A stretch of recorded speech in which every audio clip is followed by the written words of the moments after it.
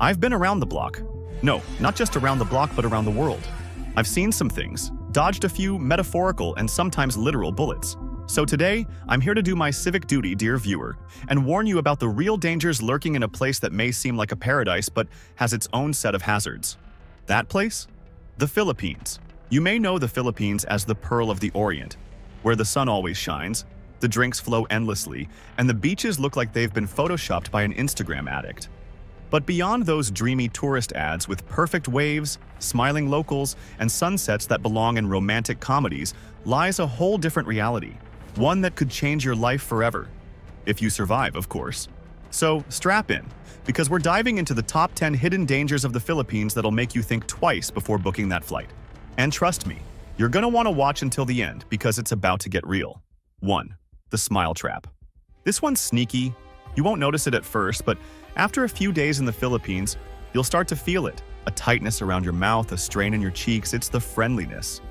The locals smile at you, and before you know it, you're smiling back, trapped in an endless cycle of grinning like an idiot. Now don't get me wrong, you're probably a friendly person, but there's only so much smiling a human face can endure. After a while, it becomes a full-blown facial workout. It's like a contagious virus, and soon you'll be walking around with a permanent Joker-esque smile. 2 whiplash from stunning women. Let's talk about the ladies.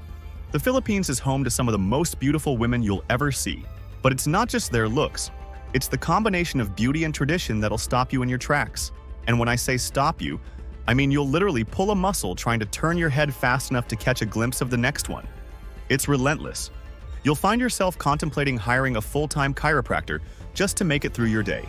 These women have the kind of charm that'll make you reevaluate your whole existence.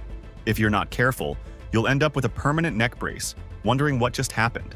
3. The cost of living trap. Let's talk money. The Philippines is cheap, dangerously cheap. You'll find yourself living like royalty for the price of a sandwich back home. Top shelf cocktails? They cost about as much as parking fees in the States. And rent? It's laughable. But here's the catch. What do you do with all that extra cash? Do you invest it? Buy more cocktails? Or finally learn what an index fund is? The possibilities are endless, and the existential crisis is real. You might just find yourself overwhelmed by all that newfound financial freedom. 4. The illusion of safety. Now, here's a real issue. The Philippines is so safe that it becomes dangerous. That sense of security? It's a trap. You'll find yourself walking around without a care in the world, letting your guard down. It's not like the States, where every dark alley feels like a scene from a crime thriller. But the problem with feeling too safe is that you become complacent. You'll lose your edge. So, when you eventually return to places where danger lurks around every corner like the US, you'll be easy pickings for any street criminal. You've been warned? 5. English. Everywhere. You might think it's convenient that English is widely spoken in the Philippines, but where's the fun in that? The Philippines is one of the few countries where you won't have any communication barriers. Everyone speaks English, your attempts at speaking Tagalog, they'll be met with polite smiles and responses in perfect English. If you were hoping for some good old-fashioned communication challenges to spice up your travel experience, you'll be sorely disappointed. It's like you never left home. And let's be honest, where's the adventure in that? 6. Too much sunshine. The weather in the Philippines? Perfect. Every day. But that's a problem. You'll get too comfortable.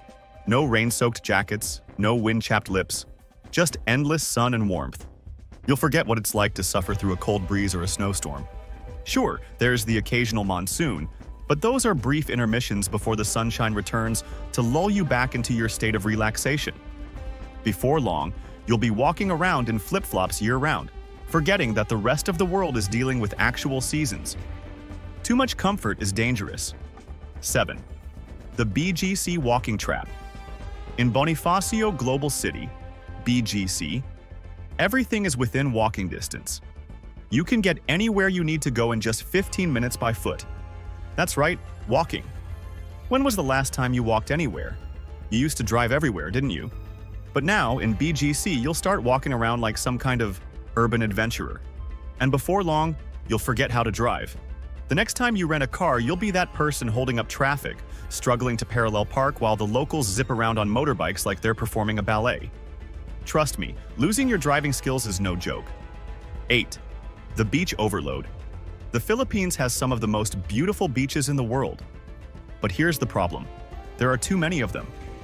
Way too many. You'll be paralyzed by choice. Do you go to Palawan with its crystal clear waters? Boracay with its powdery white sand? Or maybe Siargao, the surfer's paradise? The options are overwhelming, and you'll spend hours researching, only to end up at some random beach you picked last minute in a fit of panic. The stress of choosing the perfect beach will haunt you, leaving you in a constant state of indecision. 9. Non-stop nightlife. In most places, the nightlife dies down around 2 a.m., maybe 4 a.m. if you're in a big city. But in the Philippines, the party never stops, ever. It doesn't matter if it's a Wednesday night. You'll find bars, clubs, and karaoke sessions going strong until the sun comes up.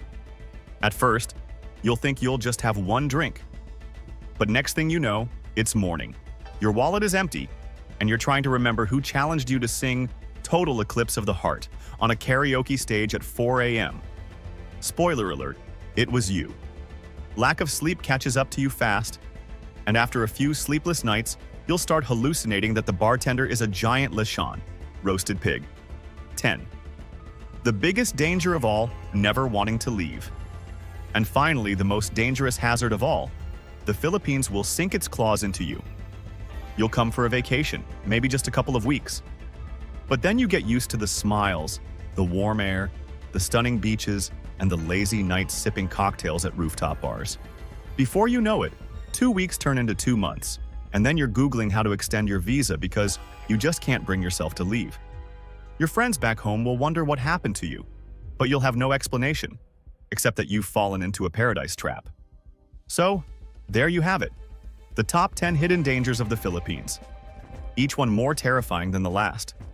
Proceed with caution, or don't proceed at all, because once you set foot in this tropical paradise, you might never want to leave.